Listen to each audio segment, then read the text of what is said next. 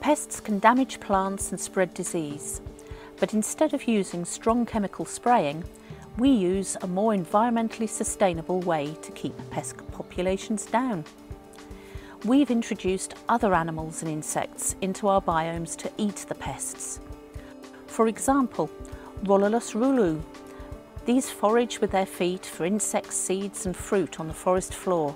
Anolis carolinensis are insectivores, only consuming live insects and worms.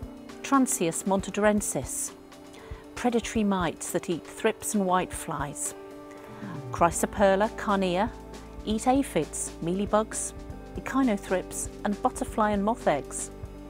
Orius lavigata suck the contents of various species of thrips, leaving only their empty shells. All biological control methods are elements of Eden Project's integrated pest management system and are carefully selected for specific use in different seasons, helping us to work with nature rather than against it.